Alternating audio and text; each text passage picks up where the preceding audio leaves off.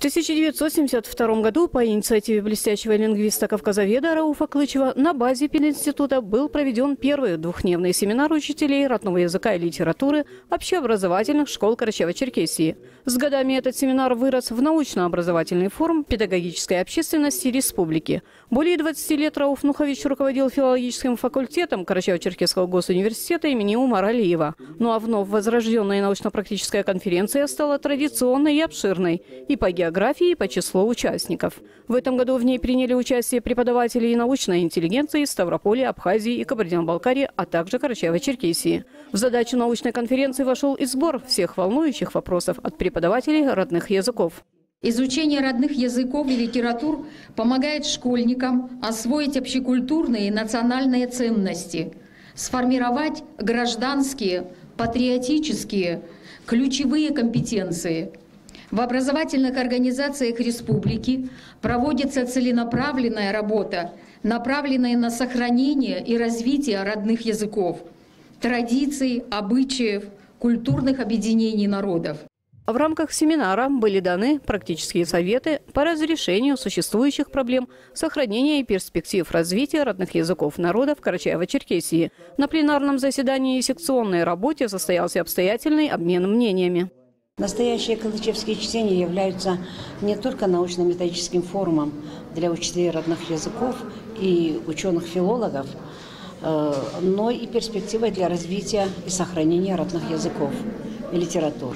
Являясь деканом филологического факультета Карачево-Черкесского педагогического института, Рауф Нухович Клычев от нас требовал не только получения глубоких знаний по предмету, но и становления высококультурной личности.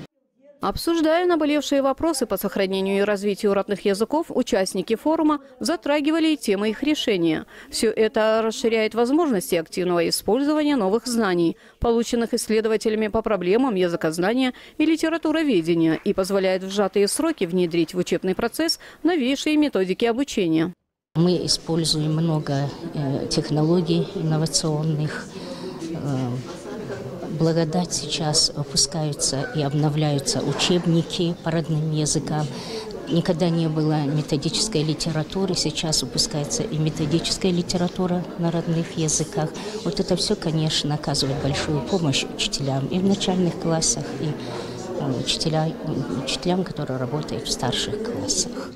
Если в начале работы в 2015 году работало 4 секции по каждому языку, то в этом году ввели пятую секцию. Это вопросы междисциплинарных исследований. Добавились специалисты-русоведы, которые изучают языки народов Карачаева-Черкесии. Также присоединились к работе форума и специалисты осетинского языка, для которых будет работать отдельная секция.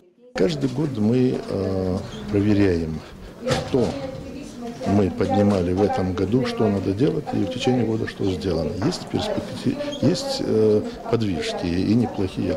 Это учебники, это и стараниями и э, администрации главы, и при помощи э, Министерства образования, безусловно, и Рашида Борисбеевича самого, мы сейчас активно работаем и уже э, подготовили материал для включения наших учебников в федеральный перечень.